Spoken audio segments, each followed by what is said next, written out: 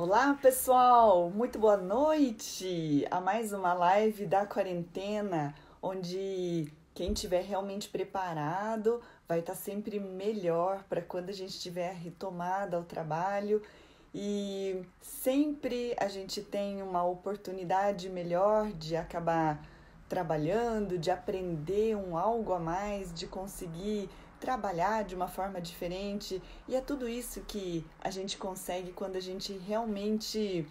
É, quando a gente realmente tem conhecimento. E a live de hoje tem um, uma temática especial que é a halitose. E muitos de vocês estavam me perguntando sobre a halitose, sobre como é que é isso com, com a doença periodontal. E no segundo semestre do ano passado, acho que foi setembro, eu participei de um evento científico da Associação Brasileira de Halitose. E quando eu cheguei lá, eu fui palestrante, fui acabar falando sobre doença periodontal, sobre bactérias periodontopatogênicas, sobre tudo isso que eu falo no Periodiária.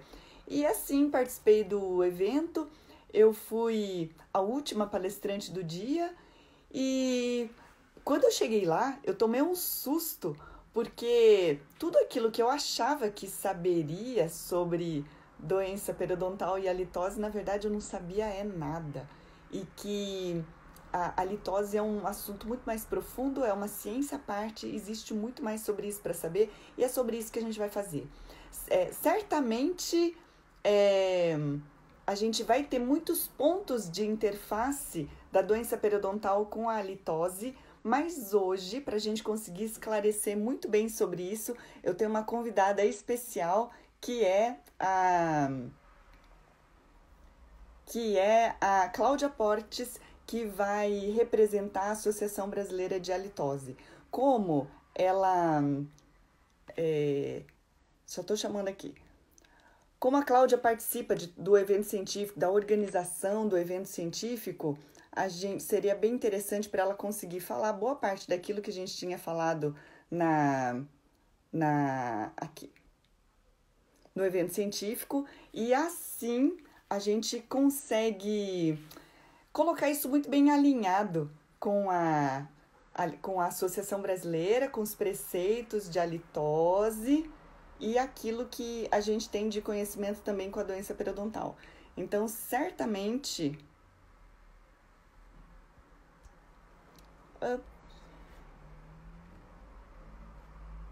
Se a Cláudia estiver me assistindo aqui, não consigo. Cadê?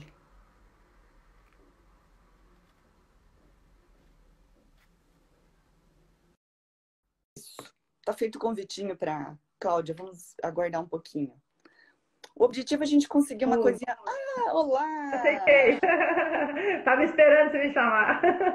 Isso aí. Pessoal, então eu vou vou apresentar a Cláudia.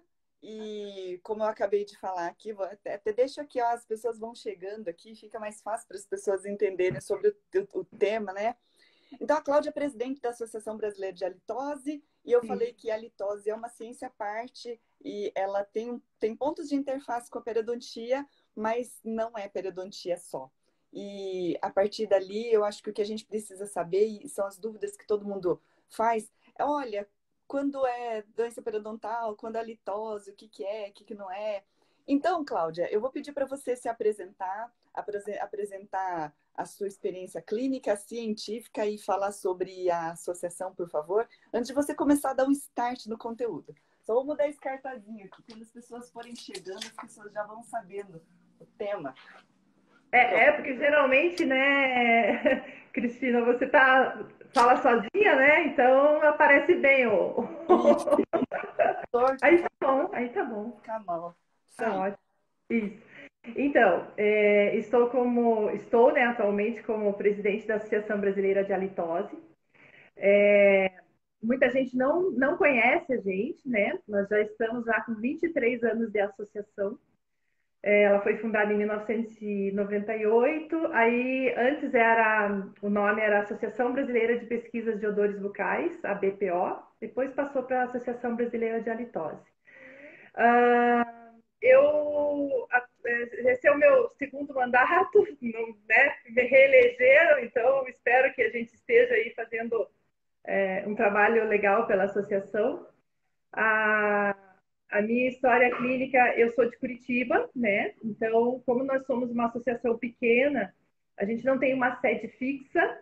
A gente, a sede é onde está o atual presidente. Então, nesse momento, até o ano que vem, ela está aqui em Curitiba. E assim, a minha experiência clínica é... A Leocádia perguntou, é Gobor, Cláudia Gobor, G-O-B-O-R. Já estou respondendo aqui, Cris. é, é, eu me interessei pela litose em 2003, quando eu fiz o primeiro curso de, de halitose em Florianópolis, num congresso com a doutora Olinda Tarzia. E muitas pessoas, muitos dentistas, né, não sabem que existe a associação e que existe cursos que a gente recomenda uh, e que existe, assim, cursos de capacitação. É, a doutora Olinda, ela fez uma turma só de especialização em 2005, lá na Mandique, em Campinas, e alguns dos nossos integrantes, mais eu, né, foram meus colegas, a gente fez parte dessa única turma de especialização em halitose. Aí as pessoas perguntar, ah, mas existe especialização? Sim, existe. O CFO ainda não nos reconhece, porque tem todo o trâmite legal, né, para fazer isso. Mas é, nós somos em poucos ainda especialistas, porque a gente tem dentro da associação são cursos de capacitação para que o cirurgião dentista aprenda mais sobre a litose e comece a tratar. Né? Então, através desses cursos de capacitação é que ele vai estar habilitado a tratar a litose. Especialização veio, é, teve só essa turma, então a gente fala que como o CFO não reconhece a gente, a gente fala especialista pelo MEC, porque ele, ele, está acima do CFO, então a gente é especialista, mas é especialista pelo MEC, até que a gente consiga fazer o reconhecimento da especialidade, né? Uh, então, dentro da associação, nós temos os cursos, então a gente fala que o cirurgião dentista vai estar capacitado, habilitado para tratar as alterações de hálito. Né? Então, a gente está aqui para divulgar a associação, falar um pouco de halitose, né, Cris? Vamos lá. Eu acho que a primeira coisa, a pergunta que eu mais ouço é sobre a litose na doença periodontal. Mas o que eu acho que você podia esclarecer é assim: quando que é doença periodontal e quando que é a litose? Porque eu, enquanto periodontista, e antes de eu assistir o evento científico para vocês, eu falava assim: não, eu resolvo, que doença periodontal resolve a litose da doença periodontal. Mas quando é que a gente sabe que é um enquanto não é? Então, eu particularmente acho, Cris, que está interligado. Né? Uma coisa está interligada à outra, porque você, realmente quem tem a doença periodontal é, é, é assim, bem, bem crítica, né? Os, os gases da halitose envolvidos, né? Junto à doença periodontal. Então, assim, é, no consultório, a gente costuma, numa primeira consulta, fazer essa sondagem da, se tem bolsas, né? Fazer radiografia para ver se a perda óssea. E muitas vezes, assim, digamos assim, 70% dos casos a gente acha algum foco de doença periodontal, né? Aí é que a gente trata com o periodontista. Eu, no meu caso, eu não sou periodontista. Eu encaminho para o periodontista para fazer um tratamento em conjunto com o, com o nosso protocolo, né? Então, a gente considera... Agora, agora, que você segue o pério diária, você vai conseguir tratar também. Então, não vou ter o título, né? Mas, a, mas... Cláudia, a Cláudia me escuta, porque o pério diária é exatamente, olha, às vezes não tem periodontista em todo canto, ou é às vezes é um foco. Gente, periodontistas, não estou tirando espaço de vocês, mas é. pra, a pério não pode ficar tão obscura. Então, olha só, a Cláudia não é periodontista, mas você trabalha com periodonto. Quem que não uhum. trabalha com periodonto, né? É verdade. E, e, muitas vezes o, o, o, dentista, o clínica geral, nem faz uma sondagem, acho que nem dá muita bola para a gengiva, né? E isso tem que ser investigado. Porque há, tanto a gengivite quanto a periodontite, eles são fatores coadjuvantes no aparecimento das alterações de hálito, né? Então, isso que a gente tem que prestar bastante atenção. Né? Então, são vários fatores que causam as alterações de hálito. Entre elas, as alterações gengivais. Né? Então, é isso que a gente investiga. e não vai fugir da fase de manutenção. Exatamente. Porque, assim, que é o que eu falo tanto, tanto, é. tanto aqui. É. Porque assim, pode ser que a pessoa tenha um algo a mais de alteração de hálito do que só uma periodontite, mas se ela tem uma gengivite, também da halitose, uma periodontite, ela vai precisar fazer. Aí eu falo assim, aqui no periodiária, que a periodontia não é só para o especialista, porque a manutenção é. ela é para todo mundo. Então, por exemplo, se ele é seu paciente de hálito, ele vai precisar de uma manutenção periodontal também, além do seu tratamento, né? Exatamente. Então a gente fala que a, a, o tratamento de halitose ele enfoca, engloba vários, vários é, fatores, né? Então a gente tem é, alterações de gengiva, alterações periodontais, né? Problemas salivares, né? É, algumas vezes a gente tem é, casos amidalianos que eles podem contribuir um pouco para o aparecimento do hálito.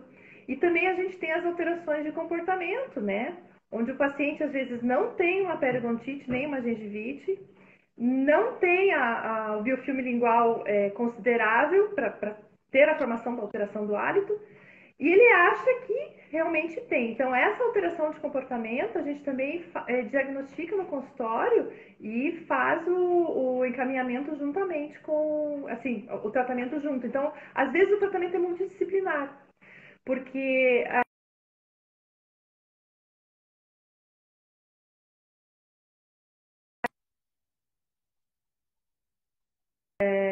ou às vezes bucomaxilo, precisa da, da remoção de, de, algum dente do siso que esteja meio incluso, aquela coisa que são focos bacterianos também, é, como também tratamento médico. Né? Então, a, tem, a gente tem algumas alterações de hálito que podem vir sistemicamente também, que a gente pode identificar e pode pedir uma avaliação médica. No caso do, de ter casos amidalianos, por exemplo, às vezes, muitas vezes a gente precisa de uma avaliação otorrinolaringológica, né?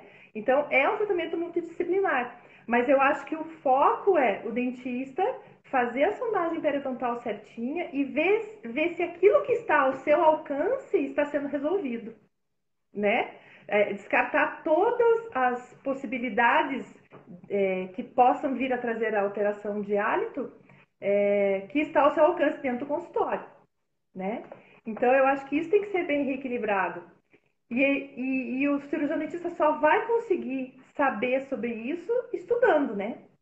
É, estudando e se capacitando para resolver o problema, para reequilibrar o paciente, né?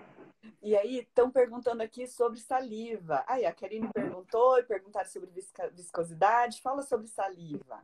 E aí? Então, a gente faz é, exames salivares no consultório, porque a saliva está diretamente envolvida também nas alterações de hálito. É, se você tem uma secura bucal, por exemplo, ela pode vir, é, essa secura bucal pode vir de uma alteração de função de glândula salivar, ou então algum alguma, é, efeito colateral de remédio, ou alguma outra coisa sistêmica que você pode estar fazendo uso no, no momento, e faz essa alteração de saliva. Então a gente fala que a alteração salivar, ela é, digamos assim, ela, é, se ela está em desequilíbrio, ela deixa de fazer a autolimpeza da boca, né? Uma vez que você tem a boca seca, você tem células que descamam, né? E as células que descamam, elas são, elas são proteicas e, e isso as, as bactérias que a gente tem normalmente na boca, ou principalmente no dorso lingual, na parte posterior, elas vão se alimentar disso. Na hora que elas se alimentam disso, liberam gases é, ricos em enxofre, né, que a gente costuma dizer que é o cheirinho de ovo podre, né? Que é, são os gases, os compostos sulfurosos voláteis. Né? Então, se você tem uma saliva reequilibrada, você está fazendo a sua autolavagem, digamos assim, bucal, e você não vai ter hálito. Agora, se eu tenho uma diminuição nessa produção da saliva, se eu tenho uma alta viscosidade, né? se eu tenho ah, é, uma turbidez dessa saliva, por isso que a gente faz a cielometria no consultório, né? Para ver a turbidez dessa saliva, se está ocorrendo ou não descamação, né? Tem que reequilibrar isso, porque senão, é, sem fazer o exame salivar, a cielometria, a gente não consegue muitas vezes reequilibrar o paciente com alteração de hálito. E daí a gente faz essa cielometria e vê o que está desequilibrado e faz parte do tratamento do hálito também. Assim, sabe, Cristina, eu acho que é, todos os dentistas deveriam fazer a cielometria nos seus pacientes, né? É, é, seja ele é, protesista, seja ele, é, todos deveriam fazer, porque a produção salivar ela influencia até na adaptação de restaurações, né? Ela influencia na adaptação de prótese. É, por exemplo, vamos lá, como é que uma, uma prótese total superior, vamos supor, né? Sem ser implante, né? Como que ela vai se aderir ao céu da boca? É, com a saliva. Então, muitas vezes, os pacientes idosos não têm uma salivação ideal e não tem uma adaptação de prótese ideal. Isso vai também influenciar o quê? Na produção, na, na alimentação do paciente. Ele não vai conseguir se alimentar direito. Então, a produção, a, a, o exame de saliva deveria ser feito, na realidade, em todos, mas o, o cirurgião dentista, o clínico geral, né, ou, ou a, até em outras especialidades, ele não faz o exame salivar. Ó, agora você falou uma coisa que eu nunca tinha pensado aqui, ó, que de que todos deveriam fazer cielometria. Ah. Olha aqui, ó, a Cecília falando, todos deveriam fazer cielometria assim como a sondagem. Eu, eu periodontista, nunca aprendi isso, nunca pensei nisso, não tenho qualificação nisso, eu teria que fazer um curso. Mas se pensar bem, quando a gente pensa no processo saúde-doença, se a pessoa tem uma saliva viscosa, seja lá qual for o motivo, geralmente ansiedade e medicamento, que acho que uhum. o que tem demais, né? Se a pessoa tem maior viscosidade, ela tem um menor potencial de lavagem. Se ela tem menos lavagem, ela tem mais risco de cárie. E aí, para o paciente de meia idade, vai ter cárie radicular. Aí a gente faz de tudo, controla para controla placa, contra... pronto, cárie radicular. Do ponto de vista periodontal, o, é, por exemplo, o respirador bucal não tem saliva aonde resseca. E onde resseca, ele perde o potencial de lisozima e lactoferrina que tem na saliva, ele hum. perde o potencial das imunoglobulinas salivares, ele perde o potencial de migração, tem migração leucocitária pelo fluido sulcular fazendo fagostose, pronto, acabou, não tem. É. Ele perdeu um monte de coisa. E assim, alguém comentou aqui sobre consumo de líquido. Pode beber água o dia todo, não tem nada que substitua a boa saliva. Então, uhum. olha aqui um ponto bacana. Porque, assim, nós, periodontistas, a gente olha o equilíbrio bacteriano, a gente olha o controle de placa. Mas o que você falou tem uma coisa muito a mais, porque a lavagem salivar é importante. Na microbiologia, a gente fala da saliva como um efeito flush flush de descarga. Porque uhum. o estômago tem pH 2, né? pH ácido. Tudo que. Então, lavou pela saliva, a pessoa engole, pronto, blum, caiu no estômago, as bactérias morrem. Então, uhum. ter lavagem é tudo de bom. Aí, se não tem, né? Já é outra coisa. Ó, aqui estão per perguntando sobre chiclete. E o chiclete? Então, é, os chicletes, é, em relação, acho que a salivação ou hálito, né? Vamos, vamos abordar os é. dois. né? É, o chiclete, em relação ao hálito, ele vai ser apenas um mascarador, né? Como qualquer outro mascarador. Ele vai sobrepor ao cheiro de composto furoso volátil e outros compostos que contêm as alterações de hálito. Então, ele vai sobrepor é, ao, ao, cheiro ruim, digamos assim. É a mesma coisa de enxaguante, né? É, pessoas que mastigam cravo, essas coisas. É, agora, em relação à saliva, ele é, sim, um, como digamos assim, um estimulante, né? A gente tem, é, a gente fala dos cialogogos, né? Que são borrachinhas que você pode mastigar durante o dia para produção de saliva. Então, o chiclete ele pode ser sim, Cristina, é, um estimulante salivar. Só que a gente tem que tomar cuidado de não fazer uso muito contínuo desses chicletes. Por quê? Pode é, dar ou é, propensão de problemas nas articulações, né? E se você fica muito tempo mastigando aqueles chicletes, a gente tem como experiência que se você mastiga assim por mais de 10 a 15 minutos, a glândula salivar estressa. Ela pode estressar e pode dar o efeito rebote. Ele para a produção salivar, né? E resseca mais a boca ainda, né? Então, você sempre tem que fazer o uso de, de, desse cialogogo, dos chicletes, digamos assim, é, em, fazendo intervalos. Porque senão você vai dar efeito rebote, vai ressecar mais a boca ainda. E daí vai dar mais célula descamada. Tem? E entra numa situação que foi falada na live de ontem, ou ontem, de ontem, a pessoa usa um bochecho. Porque quando faz uso daquele bochecho, a gengiva não sangra mais. Quando a pessoa masca chiclete, não tem halitose. Quando chupa balinha, house uhum. preto, não tem halitose. Mas a causa não está tratada. Exatamente, né? exatamente. Então, e em relação aos, aos enxaguantes que a gente tem aí, uh, é claro, os com álcool é pior por causa do ressecamento, né? Isso todo mundo fala, né? Mas a gente tem que tomar muito cuidado, porque é aquilo que você falou, o enxaguante, ele vai só mascarar, né? Então, ai, vou fazer um enxaguante porque, porque vou ficar bem do hálito. Beleza, você vai ficar bem do hálito momentaneamente. O, a, a, raiz do seu problema lá não, não vai solucionar através do enxaguante, né? Então, é isso que a gente tem que, que abordar. E sempre observar é, a formação do biofilme lingual, né? Que atualmente a gente chama de biofilme lingual, antigamente era saburra lingual, né? Que é aquela plaquinha posterior que geralmente se forma lá no terço posterior da, da língua, né? Uh, Escuta, então, falar uma coisa bem importante aqui, é, ó. Também estou tentando deixa, ler aqui, ó. Não deixa passar o seguinte: falaram sobre o, é, o paciente não é, percebe e nós percebemos. Como nós vamos abordar o paciente com é, como nós vamos abordar que a gente percebe a litose nele? Então, complicado, né? Bem complicado. Então, é, como abordar esse assunto com o paciente, porque é delicado. Exatamente. É, desde que ele esteja reequilibrado é, ó, na periodontia, eu acho que a gente, como é, dentista que trata isso, você pode perguntar né? É, escuta, você nunca ninguém reclamou do seu hálito, né? Nunca ninguém é, falou é, alguma vez que você tem, está com. As pessoas falam pejorativamente bafo, né?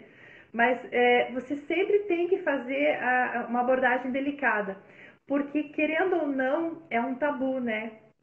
É, deveria ser assim, por exemplo, ah, Cristina, você está abatida hoje, né? Ah, Cristina, você está com alteração de hálito, você está com uma litose hoje, o que, que aconteceu? Mas não é isso que acontece.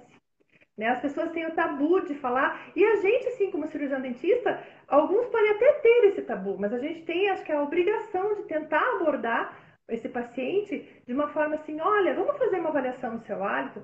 Se eu percebo no consultório, no meu paciente clínico, que ele tem alteração de hálito, eu já digo, não, vamos fazer uma, uma avaliação do seu hálito, vamos ver como é que tá, né? Então, é um protocolo totalmente diferente, porque a gente tenta abordar todas essas alterações, né, que eu te falei, tanto bucais, né, locais, como sistêmicas.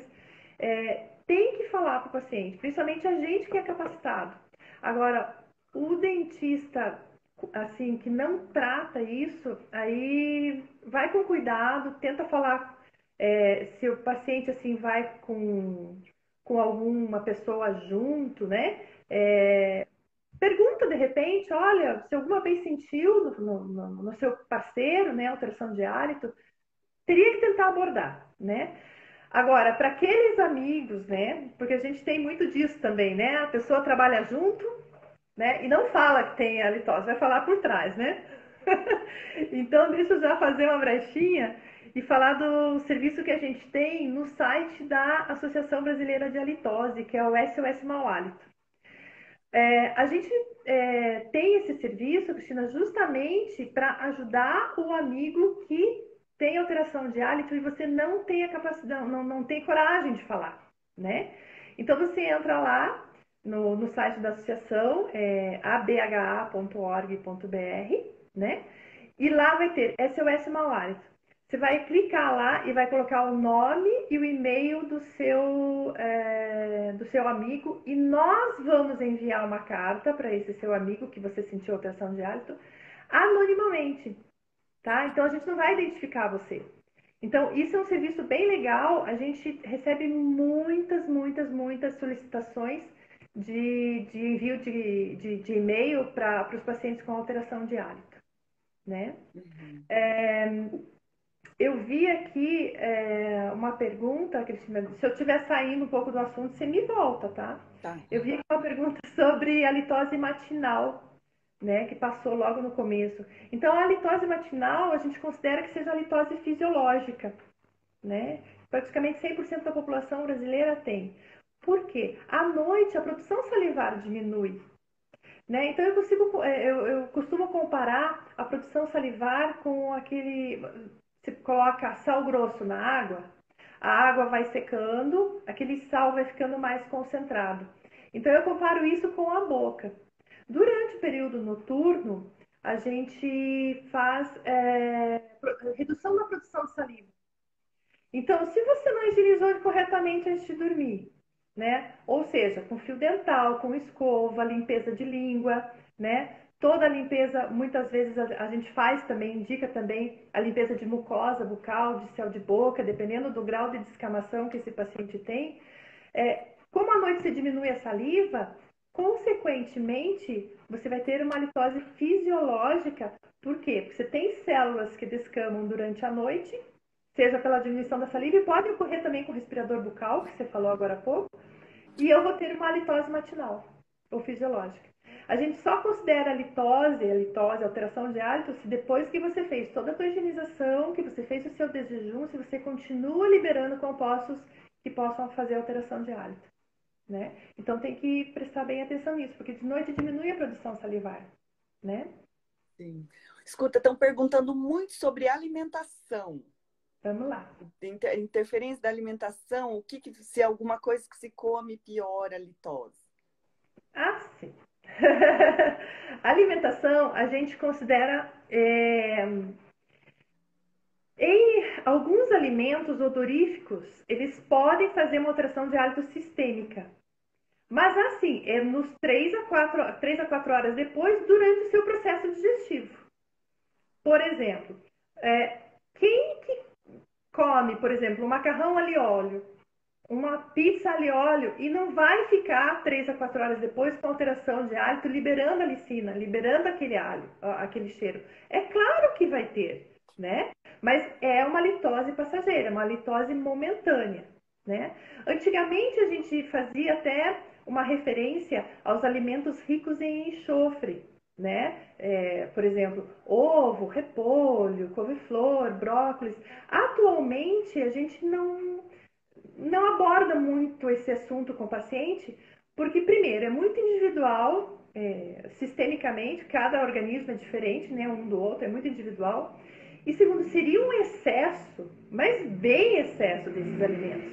Então, é muito difícil que a gente tenha alteração é, por alimentos, né, na, a, envolvido na alteração de hálito. E é uma litose momentânea passageira, não é a litose de compostos sulfurosos voláteis ou os outros compostos que, que fazem parte da, das alterações de hálito. Alho e cebola, estão falando aí, né? Então, e perguntaram também sobre gosto. Por, por exemplo, a litose tem relação com o paciente sentir um gosto amargo? Uhum. O que, você, que, que você me diz? Então, pode ou não ter. é, o gosto é assim, às vezes a gente tem alguma alteração é, de função de papila lingual, né? A gente chama isso de disgeusia, né? É, meus colegas aí é, que estão fazendo parte da live me corrijam se eu é, estiver errado.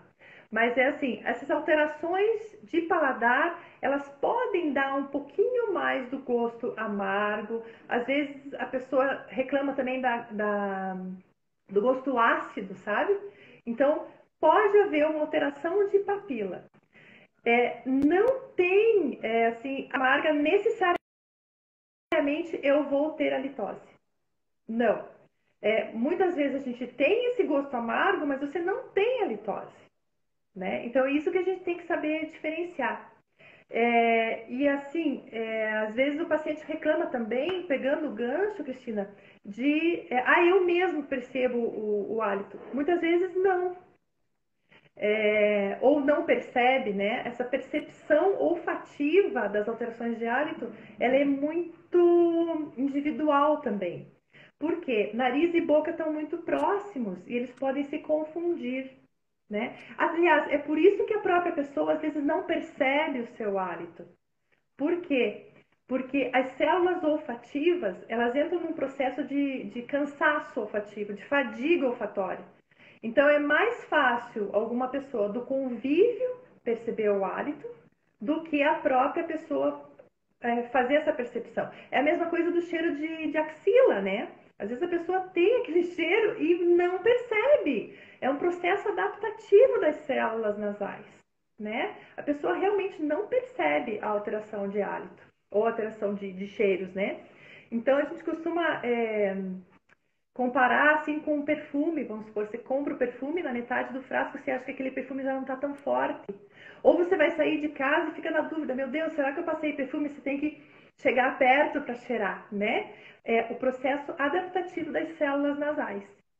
Então, por isso Bom, que é legal, assim, alguém próximo falar, sabe? E aí eu, eu acho que, assim, de um geral, a gente tem que parar e pensar assim. É, o profissional que vai tratar litose tem que ter segurança que está fazendo, está trilhando o caminho certo. Então, ao uhum. meu ver, eu já penso assim: ah, eu faço uma pério, mas a minha pério é mais ou menos. Eu faço uhum. uma, uma análise de saliva, mas a minha análise de saliva é mais ou menos. Eu não sei. Então, tudo é uma, é uma capacitação é, interdisciplinar e multiprofissional. É isso que eu entendo, né? Então, por exemplo, ó, tem que, tem que ter certeza que a pério tá ok. Se você não tem, tem segurança, manda para o periodontista. Tem que ter certeza que o biofilme lingual tá ok, tem, tem que avaliar a saliva, tem que avaliar medicamento. E aí estão rolando aqui assim. Enfim, eu acho que você tem que agora falar dos profissionais da litose. Enfim, se eu, periodontista, não tenho capacitação, nada funcionou, e para quem que eu mando? Onde eu vou encontrar um profissional com capacitação ou especialização em litose para encaminhar? Então, no site da associação, a gente tem lá profissionais indicados no Brasil inteiro, né? É só entrar lá, abha.org.br né? E clicar em profissionais indicados. Ali você vai selecionar o seu estado e daí você vai encontrar um profissional é, mais próximo da sua cidade, tá? Que possa, possa tratar. É, todos esses profissionais que estão indicados no site da associação, eles têm os cursos de capacitação.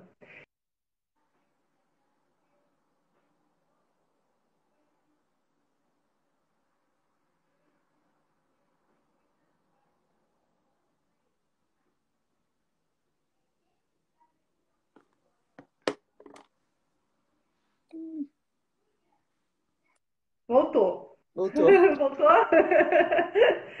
Então, é, a gente tem que deixar bem claro que é, através desses cursos de capacitação é que o dentista vai ficar habilitado em tratar hálito, tá?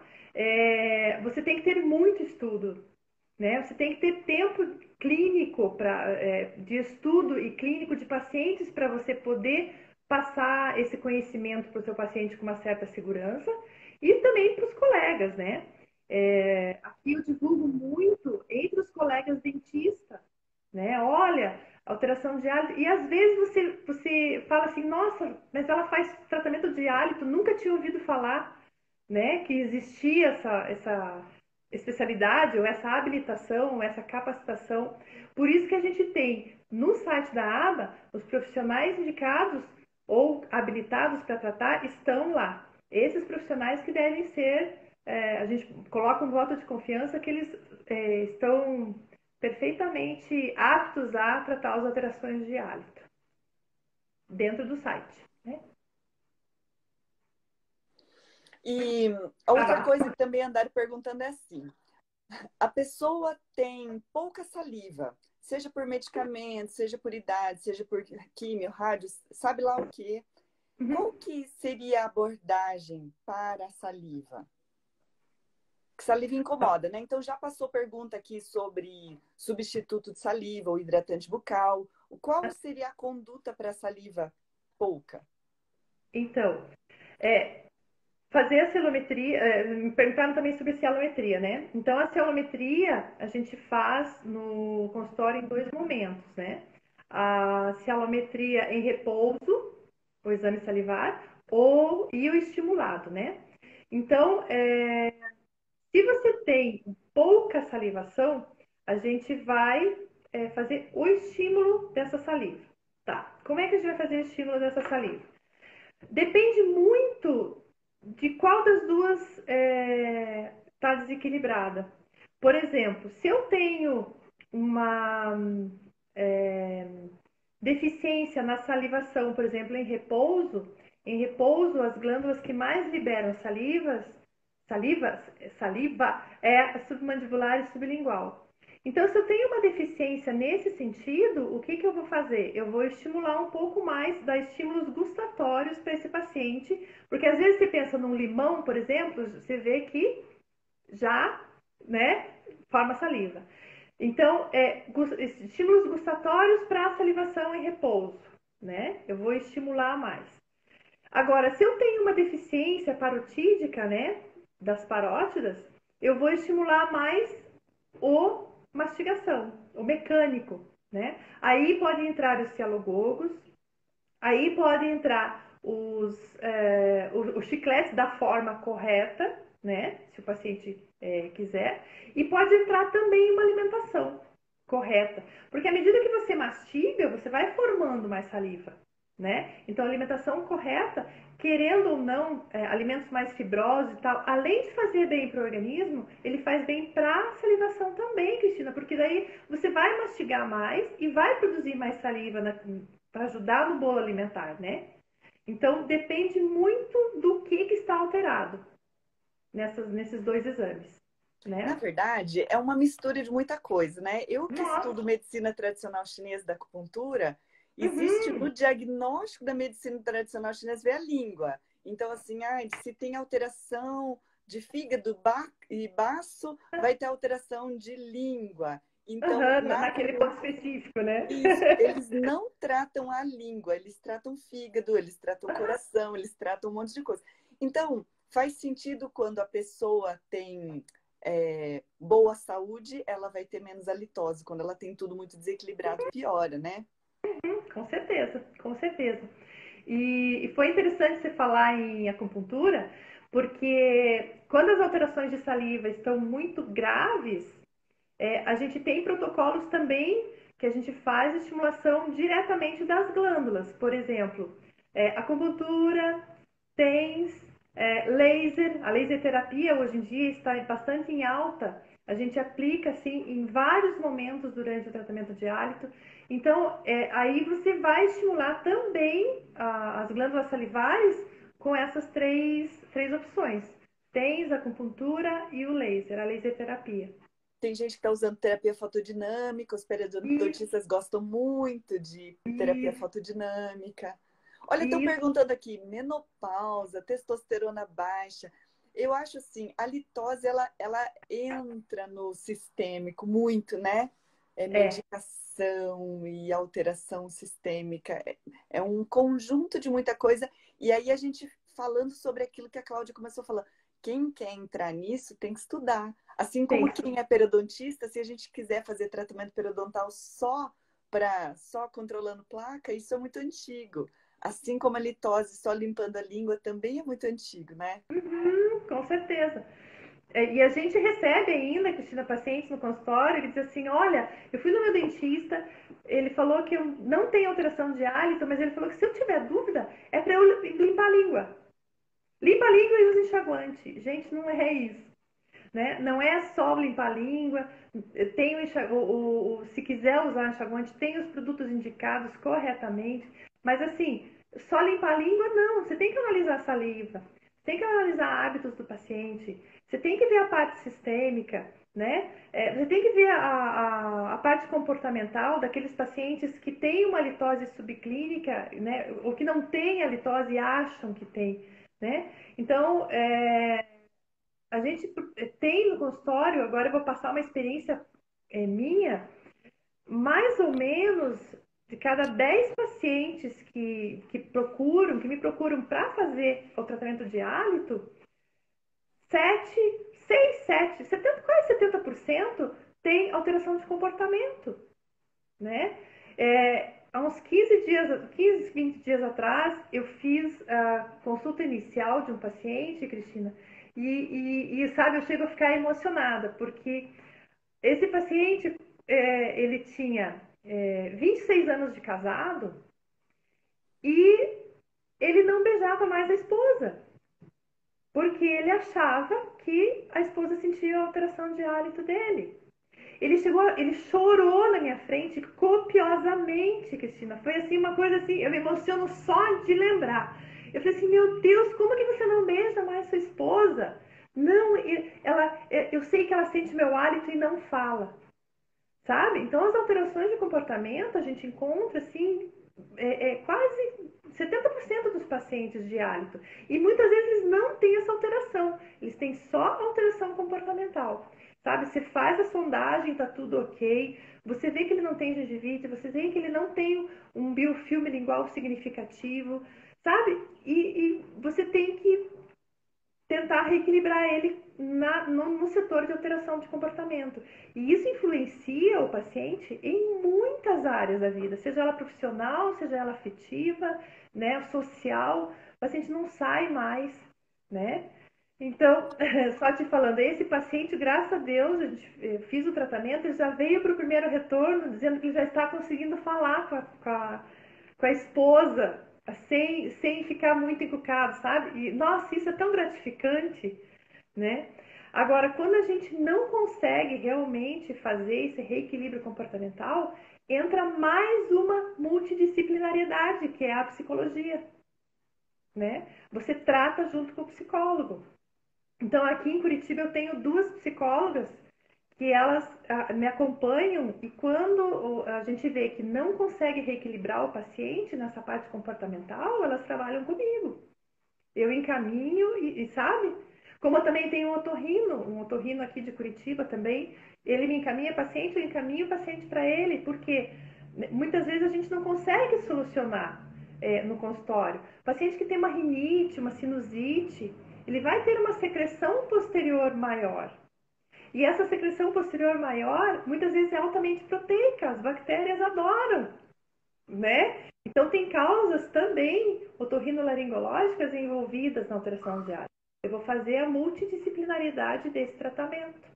Então é muito individual. Não é uma fórmula, uma forma, uma receita de bolo, como a gente diz. Né? Por isso que a gente tem que investigar o paciente em todos os sentidos né? É, pede para eles, geralmente na primeira consulta, trazer os últimos exames de sangue do último ano que ele tenha feito, exames de imagem, né? É, ecografias. Muitas vezes ele já passou pelo gastro, né? Já tem endoscopia feita, tudo. A gente pede para trazer tudo para realmente fazer uma investigação e daí decidir essa multidisciplinariedade, seja ela odontológica ou médica. Né? Então é uma abordagem totalmente diferente que a gente tem. Eu digo assim, a gente é, aprende a, é, é, a conversar mais com o paciente, né? A gente aprende a escutar mais o paciente. A periodontista também, nós também. É, então casou é. aqui. Então, sabe, é, é aquele trata, é, tratamento humanizado que a gente fala. Né? E você também fala sobre isso, né? Muito, que, muito. É, eu sei, eu já vi lá. Não resolve. Agora, Cláudia, para assim, não cair, a gente fechar a história de hoje sem não esgotar o assunto, que não vai dar para esgotar mesmo, mas assim, para a gente conseguir entender, para quem tem interesse em fazer uma formação em dialitose, ou para quem tem interesse em encaminhar, é, o que, que a gente pode esperar de quando o paciente vai encaminhado para alguém especializado? O que é que, de uma forma geral, qual seria o caminho que esse paciente qual vai ser o caminho que vocês vão trilhar nessa avaliação? Vai avaliar isso, isso, isso, vai fazer assim, assim, assim. O que, que seria mais ou menos para a gente ter uma ideia? Tá. Então vamos supor, você recebe um paciente no seu consultório. É, vamos supor que você deu alta na periodontia, tá? Controlado periodontalmente falando. Mas continua com alteração de hálito, né? Aí você procura lá no nosso site, lá, né, na sua cidade, é, vai indicar para um, um profissional habilitado em tratar as alterações de hálito. Tá, esse profissional vai fazer o quê? É, o exame clínico bem completo, com os exames de sangue, raio-x, tudo que eu, que eu acabei de falar, que eu acabei de citar. É, vai ver a parte salivar, vai ver essa formação de biofilme lingual posterior, como que está essa formação ou não, né? E vai ver também as alterações de comportamento. Então, a gente tenta englobar tudo isso, né? É, para ver se realmente ele tem alteração de hálito ou não. Aí no consultório, é, alguns profissionais desses profissionais habilitados, eles têm é, os aparelhos que medem o hálito, né, no consultório. Que hoje em dia no Brasil a gente tem dois, né, que é o alímeter e o uralcroma. Né? O uralcroma é um pouquinho mais específico porque ele mede vários gases que podem fazer parte das alterações de hálito. O alímeter ele é mais simples, ele, ele mede só dois a três é, gases. Mas mesmo assim, o paciente gosta de ver se ele tem alteração de hálito ou não nesse aparelho. E isso, de certa forma, é legal porque à medida que o paciente vai melhorando, desde que ele não tenha uma litose subclínica, né, à medida que o paciente vai melhorando, os índices dele também vão melhorando. E ajuda a gente na parte comportamental, porque ele está vendo que ele está melhorando, né? O que ajuda bastante também no tratamento é a gente ter uma pessoa da família que possa relatar pra gente se aquele hálito está melhorando ou não, né? Se aquele paciente está realmente melhorando ou não, né? Mas assim, é um é um apanhado de coisas, é como eu te falei, é a multidisciplinariedade tanto odontológica quanto médica, né? Não sei se eu consegui responder a sua... Sim, é, é mais ou menos isso para a gente entender. E deixa eu perguntar uma última coisa. É, eu, dentista, que não, não sei muito sobre a litose, eu posso me inscrever num evento da Associação Brasileira de Halitose, num evento científico, para eu saber mais, né? Uhum. E vocês têm uma regularidade, né? Fala sobre isso para a gente se capacitar. Assim, né? Regularidade sem o Covid, né? Com, com o coronavírus. Você tem que fazer um evento online, é isso que você então, tem que fazer então, agora. É, vamos, vamos providenciar isso. É, então, assim, é, na associação, o nosso evento regular certo, anual, é o encontro científico em janeiro, durante o CIOSP. Então, todo ano tem Congresso de Odontologia Internacional em São Paulo, todo ano a gente faz nosso encontro científico. Nós já vamos, se eu não me engano, para o 14 ou 15 já, encontro científico, já em janeiro de 2021. Uh, ah, então, assim, qualquer, a gente sempre divulga nas mídias e tal, qualquer cirurgião dentista pode participar desse encontro científico. A gente sempre chama alguns palestrantes bem, bem legais para poder dar essas palestras. Durante o ano, a gente faz os encontros brasileiros de halitose. O ano passado a gente teve dois. Um em julho, junto ao Congresso Internacional de Odontologia do Rio de Janeiro, junto ao CIORG, e outro em outubro, aqui em Curitiba, junto ao Congresso Internacional de Odontologia do Paraná, que você foi nossa palestrante, nossa, foi só elogios para você naquela palestra, né? Para quem não sabe, a Cristina é, foi nossa palestrante, falou sobre probióticos, né? As bactérias do bem, né? Foi, foi show. Gente, vocês não. É, e quem não... é meu aluno periodiária, eu uhum. tenho essa palestra lá. Eu não filmei a de lá, porque era um evento pago, mas a palestra eu regravei para os alunos. Então, então tá para quem é meu aluno. Só que eles não vão ganhar o probiótico, né, Cristina? É, porque, gente, vocês não têm ideia. Ela levou para todos os participantes da palestra uns tubos de ensaio com o probiótico, que é o kefir, né? O, o, probiótico do leite e o probiótico da água. Ela é fantástica, fantástica. Todo mundo elogiou a palestra dela. Então, nós temos, assim, os encontros brasileiros a gente costuma fazer durante os congressos, né? Então, foi feito no Rio de Janeiro e foi feito no Paraná. Para esse ano, a gente até estava programando, mas, assim, com a, a história do coronavírus, a gente meio que não tem programação ainda. O que a gente tem de programação é a nossa campanha nacional do combate ao mau hálito. Então, dia 22 de setembro é o Dia Nacional do Combate ao Mau Hálito. não dá para esquecer, porque é o mesmo dia do Dia Sem Carro, que, que, que a mídia é, fala, né? É o mesmo dia, 22 de setembro. A gente entra em campanha anual. É, esse ano, o tema da campanha é, é acho que a Karine está aí, ela pode me corrigir. Mau hálito, é, não vire as costas, vire o jogo, algo, algo desse sentido. Para a gente realmente incentivar o profissional cirurgião dentista a vir estudar com a gente, né? Então, esse ano a campanha vai ser é, sempre, sempre de 22 de setembro, que é o Dia Nacional do Combate ao Mal até 25 de outubro, que é o Dia Nacional do Cirurgião Dentista. Nesse mês, a gente fica é, dando palestras por todo o Brasil, a gente fica é, na mídia. Então, assim, todos os associados recebem a palestra que, que a nossa comissão científica elabora, relacionada ao tema do ano escolhido e palestras e palestras em empresas, em, em escolas, aonde solicitar e aonde a gente tiver sócios no Brasil todo, essas palestras são é, elaboradas e, e, o associado pode dar essas palestras para divulgar, tanto para profissionais quanto para a população em geral, né, em respeito do hálito, da, das alterações de hálito. Então, esse, por enquanto, é o nosso evento do ano, que vai ser é, é a campanha nacional do combate ao hálito, que é anual. Talvez em outubro ou novembro a gente tenha um evento só da associação é, relacionado ao hálito. A gente está ainda bolando isso, a gente vai ver como é que fica agora depois dessa, dessa fase de quarentena, mas a gente está pensando em fazer um evento da ABA ainda esse ano. Se não tiver, durante o Congresso de Odontologia o ano que vem vai ter. Ah, não, nós vamos conversar. Vamos conversar pra gente fazer um coisinho online, então, hein? É isso aí. Que perfeito. Tal? Já pensou, perfeito, né? Perfeito.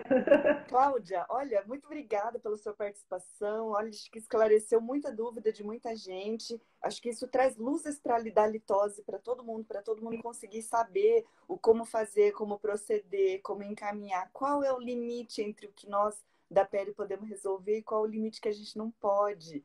E Sim. acho que a gente tem que falar com isso com regularidade, expandir isso para o público geral também, né? Então, é Pitra, te agradecer de coração a sua participação e convidar todo mundo a entrar, seguir o Instagram do, da ABH, que é o perfil que a Cláudia tá aí. Então, Sim. acompanha. Então, no CIOSP tem um evento e vamos ver se a gente acaba fazendo um, um evento junto com vocês, então, um evento online, né?